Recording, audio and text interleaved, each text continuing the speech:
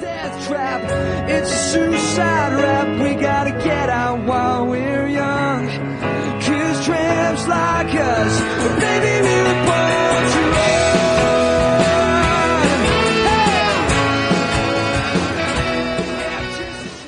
Hello everyone, welcome back to my channel. My name is Tori or Victoria if you're new here.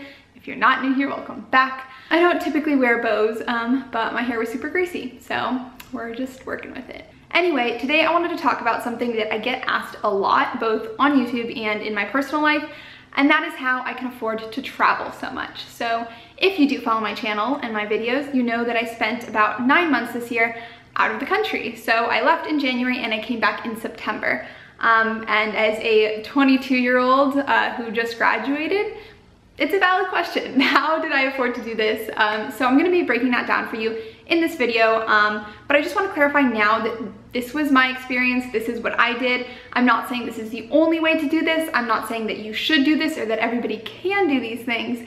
This is just how I did it. So hopefully some of these things can help you or apply to your situation.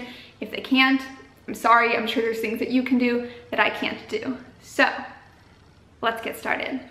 Actually, before I get started, if you haven't already subscribed, go ahead and go ahead and hit the subscribe button and give this video a thumbs up. Or you can wait till the end if you want to, but this might be a long video, so just do it now. Anyway, so first things first, um, I'm gonna start off with probably the most basic one that I know most people don't wanna hear because it's kind of obvious um, and it's also hard, and that is to save.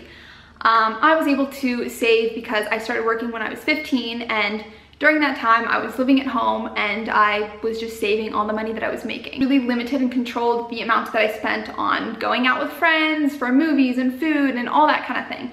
So if you're not in a situation where you can live for free because you're older or you don't live at home, um, there's still ways to save. It's a little bit harder and I know the situation is gonna vary for all people. I would just sit down and look at all your expenses from your rent to your utilities to how much you spend on groceries, how much you eat out, your car expenses, everything. Really look at it all and sort of categorize things into necessities and things that just make your life more fun or more interesting. And sometimes you kind of have to cut in both places, but more so in the um, recreational expenses. So if you see that you're spending a lot in eating out, try to eat at home more. Um, I know it can be hard if you have a really busy schedule and you think it's faster to eat out, but I was sort of able to work around this through meal prepping um, a couple days a week. I set aside a couple hours and I just cook for the whole week. And in the long run, this saves a lot of time, a lot of money, um, and it's healthier too. Um, so moving along to the next category, because again, I think saving is gonna be such a personalized one that I can't go into a whole lot of detail. Um, oh, another thing that I wanted to add, I went to community college for two years. So I continued to live at home while working full time and saving all that money. So I had a lot of savings. All right, moving along to the next thing, and I have my little list here, so I'm just gonna be reading from it. Um, the next thing, and this is huge, and this is something that anybody can do, if you are planning a long-term traveling trip, uh, stay in each region a lot longer. Um, it can be really tempting to want to go to Paris and London and Barcelona, all these big cities in different countries. But realistically, to get from country to country or from city to city really adds up. So if you stay in one location for a longer amount of time, you're gonna be saving a lot in transportation fees, in train rides, in bus rides, in flights, all of those things add up a lot. This also saves a lot of money for Airbnbs or hostels or however you're doing it, um, especially Airbnbs because usually there's a cleaning fee and a book a service fee and all those kinds of fees. And if you're staying in one place for a longer amount of time, you don't have to pay all those new cleaning fees and service fees. Um, and a lot of times they even have discounts. If you're staying somewhere over a week, usually there's some kind of discount and, and it can be as significant as like 30 to 40% off, which makes a huge difference. So yes, thing number two, stay local, stay regional. Um, that's not to say you can't go somewhere completely different after that, but while you're in Amsterdam, see the rest of the local Netherlands before you decide to go to Portugal. So the third thing, um, and this is sort of specific to my situation, but I think there's ways around it even if you're not in my specific situation, but I spent my first four and a half months that I was abroad um, studying abroad. So I was in my last semester of college and I decided to go to Maastricht in the Netherlands and I got so much financial aid and scholarship money that it basically allowed me to spend those first four and a half months living, I think I spent around a $1,000 out of pocket because the rest was covered by um, my financial aid and scholarships. So if you are a student, study abroad, I highly recommend it. It was some of the most amazing memories and experiences of my life. Um, I met amazing people, I got to do amazing things, we were traveling every weekend, um, and yeah, I just really, really thankful I did that. I also can't talk, so excuse my mumbling today. Um, if you're not a student, this is still possible through things like Workaway. Um, Workaway is something that I really strongly considered after I finished studying, um, and it's basically a website and it connects you to different hosts, and so it's a work exchange. You work around 15 hours a week and exchange, you get free sort of accommodation, and sometimes this also includes free meals. So I highly recommend looking into that if you are looking to stay somewhere for a longer amount of time because that could pay for all of your living expenses, um, which pretty good.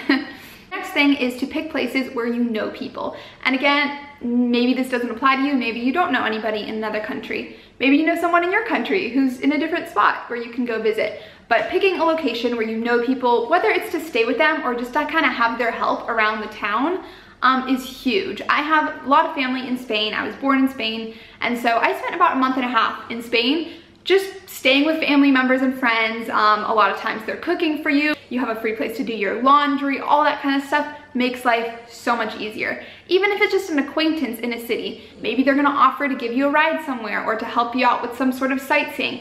All those things add up and can really save you a lot of money. So sort of think about that when you're picking where you want to go is do you maybe have some contacts in some area that you could explore and utilize um, to just make things a little easier for yourself. I'm also getting hot and my mouth is getting dry. I haven't filmed a sit down video in a long time. I haven't filmed a video in a long time and I apologize and we have a lot more coming. So the next thing is to travel with other people. Um, when I was sort of first planning my travels, I didn't really consider the difference in cost of solo travel versus traveling with a small group. But if you do wanna stay in like Airbnbs or renting places, this cuts the cost so much. You can always get by alone in hostels, but honestly, there came a certain point where I was so over hostels and maybe you've reached that point too. And I just didn't want to smell feet and have men or people who make me uncomfortable in the same space that I'm sleeping and changing in. Anyway, traveling with people can really cut the cost. If you're one person getting a, even if it's just one bed, if two people can fit in that bed, that's half the cost. So traveling with others, this can also cut costs in transportation. If you're renting a car, sometimes there's even transportation discounts for groups. Um, so travel with others. It also cuts costs in food. If you're doing a lot of cooking for yourselves or even sharing at restaurants, um, you can save a lot of money because groceries for one person versus groceries shared, a lot less waste and a lot more money saved. Um, the next thing is a little bit more, well, I would think it's obvious, but maybe it's not. But the style to which you are traveling. I traveled nine months traveling. I did not vacation for nine months. So be ready to give up some of the little luxuries. Um, be ready to sort of compromise a little bit in how nice the places you're staying in or how fancy the restaurants are. Um, travel on a budget, pick places that are lower cost, don't eat in city centers. Usually the more touristy parts of town are the most expensive and you can find delicious and usually more authentic food if you go outside a little bit. Um, this was huge when we were in Budapest and basically everywhere in Portugal. Um, in the main city center where all the tourists are, prices were super high. The food wasn't as good. It was not as authentic. Um, and if we walked like 15 minutes outside of these areas, we could find full meals that were super filling and delicious for under four euros. So definitely recommend sort of being, being wise about how you're traveling. Another thing in this category is eating and drinking. I think I mentioned this earlier. Eat at home, try to book places that have kitchens or at least spaces where you can cook. Um, Drinking too can add up. Usually the liquor stores or markets stop selling alcohol after a certain point at night. So make sure that you get your beers during the day so that you can take them out with you at night. A lot of places it's legal to drink in the streets and that's where the party is anyway. So if you've already bought your alcohol from the market or liquor store, it's a lot cheaper than getting all your drinks at the bars later when you go out. And you can still get a drink at a bar, but you know, you're not buying five drinks at the bar. And so the next thing is, what is the next thing?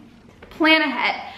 This makes a big difference in terms of accommodations. You are going to find the best deals on Airbnbs if you're looking in and ahead, if you're looking in advance, than if you're looking two days before you arrive to a city. And this is particularly true in bigger cities, Paris, Barcelona. You're not gonna find the cute Airbnb in the best part of town for the best price two days before arriving to the city. So really plan ahead, pick your places. I really spent a lot of time in planning. So I planned my route based on what countries were the cheapest to fly to and from, if that makes sense.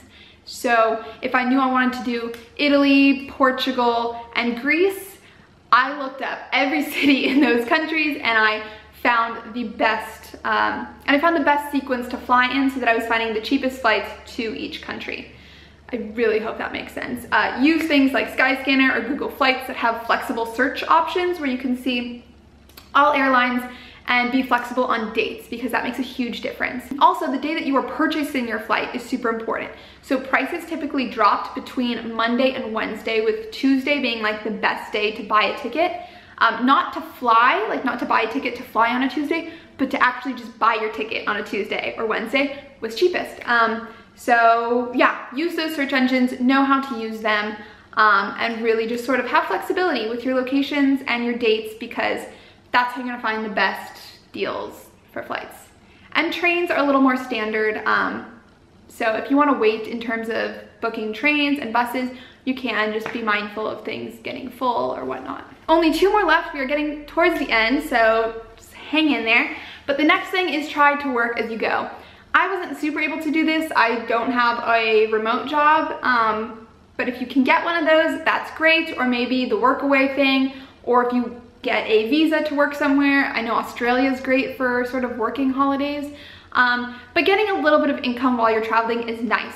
I actually got a small amount of income through YouTube. I'm a very small channel, so this was a very small amount of money, but a little bit goes a long way when you're traveling. So this helps cover costs of food or just little things. Um, so just try to get income where you can. If you do have a job right now and they are willing to let you work at least part-time remotely, try. And last but last, last but not least, get a van.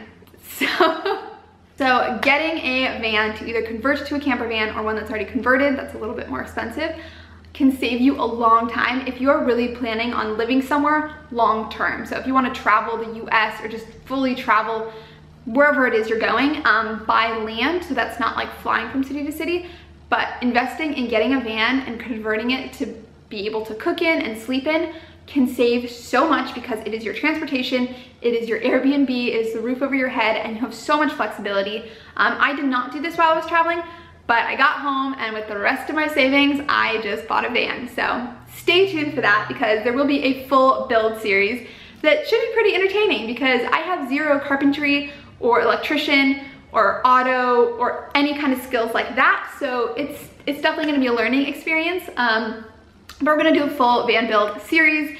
So if you wanna catch that adventure, be sure to subscribe. Um, so yeah. I hope these were helpful. I hope at least a few of them can apply to you and your situation. Um, if they can't, I'm really sorry for wasting however many minutes this was, but I told you at the beginning, everyone's situation is different. If you did enjoy this video, give it a thumbs up and subscribe again. And thank you for watching.